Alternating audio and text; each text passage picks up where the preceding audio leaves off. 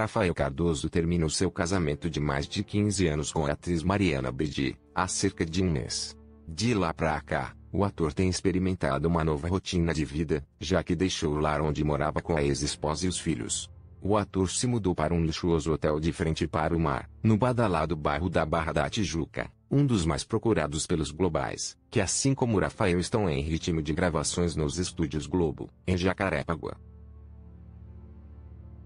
Em entrevista ao podcast Papagaio Falante nesta última semana, Rafael Cardoso explicou uma situação incômoda que repercutiu em cima de seu nome.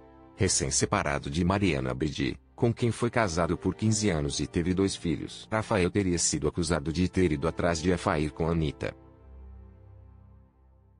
O ator esteve presente na apresentação de Anitta durante o Village Betano, no Jockey Club do Rio, que aconteceu no dia 4 de dezembro, mesmo dia em que Rafael Cardoso anunciou o fim do casamento.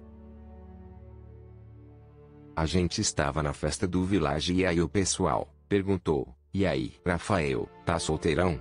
Falei que estava solteiro, e a galera, mídia, já solta, vai pegar não sei quem, vai até pegar a Anitta, explicou Rafael, afirmando que tudo não passou de boato.